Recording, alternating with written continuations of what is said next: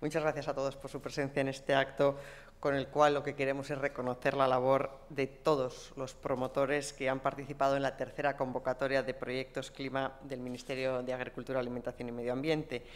El interés que un año detrás de otro, estos tres, ya cuarta convocatoria, es la cuarta, ¿no? Que ya, que ya llevamos, nos. Tercera convocatoria.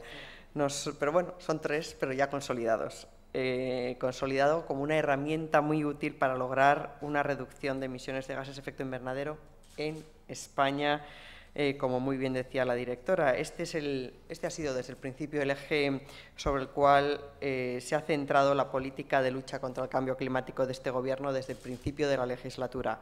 Lograr una reducción efectiva de emisiones dentro de nuestro país, contribuyendo al mismo tiempo al crecimiento socioeconómico. Así que, Daniel, totalmente en la línea de lo que entre todos estamos haciendo. Desde mayo de 2012 hemos ido incrementando la dotación presupuestaria dedicada a estos proyectos clima. Hoy contamos ya con más de 100 proyectos aprobados que en total significan una reducción de más de 2 millones y medio de toneladas de CO2 a lo largo de los cuatro años que dura la financiación del Fondo del Carbono del Ministerio. Pero estos 100 proyectos, y es lo más importante, seguirán contribuyendo a reducir emisiones a lo largo de toda su vida útil hasta un total de más de 10 millones de toneladas de CO2 hasta el año 2030.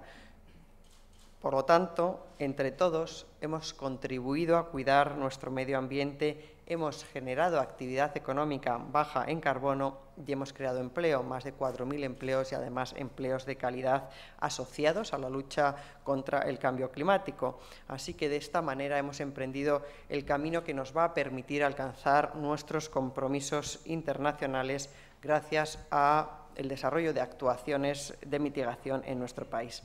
En el año 2020, España debe de reducir sus emisiones de mm, gases de efecto invernadero en los denominados sectores difusos en un 10% con respecto a las emisiones del año 2005.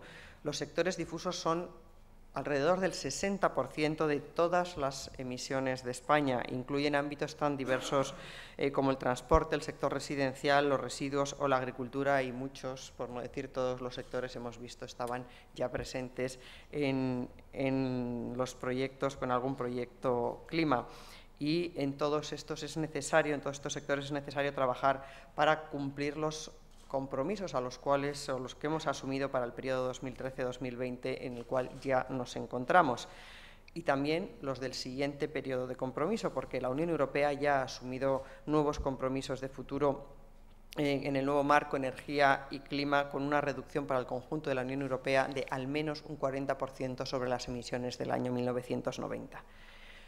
Hoy se han firmado 42 nuevos contratos de proyectos clima a través de los cuales el Ministerio va a adquirir las reducciones verificadas de emisiones que generen estos proyectos durante los próximos cuatro años. Al final estamos hablando de cerca de un millón de toneladas de CO2 cuya emisión a la atmósfera no se va a producir gracias a estas iniciativas y además constituyen el mejor ejemplo de que la economía verde es una oportunidad importante de desarrollo económico.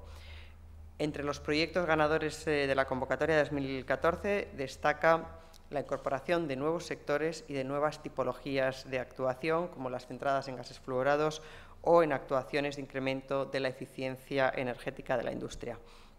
Los proyectos eh, clima son sobre todo el resultado de la creatividad, de la capacidad innovadora de sus promotores, de nuestras empresas, de las empresas españolas, pero es una capacidad de innovación orientada en beneficio del conjunto de la sociedad, al final contribuyendo a través de proyectos que reducen las emisiones a la lucha contra el cambio climático. Y en este sentido, pues yo animo a todo el mundo a que sigan participando en esta gran apuesta que es seguir planteando alternativas para mover nuestra economía al mismo tiempo que reducimos emisiones.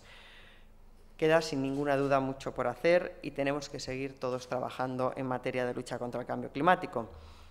Por eso, para este año, para 2015, hemos previsto una dotación de más de 15 millones de euros para proyectos clima y esto significa casi multiplicar por cuatro la dotación inicial de la primera convocatoria, aquella que la directora decía al principio no sabía cómo iba a resultar, pues hoy eh, estamos multiplicándolo por cuatro y estoy segura que no alcanzaremos a financiar tantos proyectos como desearíamos. También porque hemos planteado un nuevo precio de adquisición de las eh, reducciones para que sea más atractivo y para que permita catalizar más, más mm, propuestas de reducción. En la convocatoria 2015 el precio de compra será de 9,70 eh, euros por tonelada de CO2 reducida y verificada.